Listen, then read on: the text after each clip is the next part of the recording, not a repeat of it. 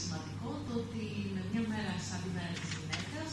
έρχεται στο νου όλων μας ο προβληματισμός και η οπτική του φίλου στα κοινωνικά δρόμενα, στα εκπαιδευτικά δρόμενα και σε ζητήματα όπως η γυναικεία ταυτότητα. με εξαιρετικό ενδιαφέρον θα παρακολουθήσουμε την εκδήλωση την απόψινή. Ε, ελπίζω να έχουμε τον χρόνο όλοι να εκφράσουμε τις δικές μας ανησυχίες και τους δικούς μας προβληματισμούς. Και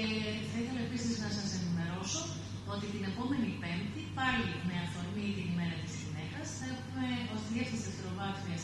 μια άλλη συνάντηση, στην οποία θα παρουσιάσουμε στους διευθυντέ σχολικών μονάδων, στους διευθυντέ και όσους εκπαιδευτικούς έχουν τη δυνατότητα να την παρακολουθήσουν, ε, στις 12 η ώρα το πρωί στην αίθουσα της Νομαρχιακού Συμβουλίου,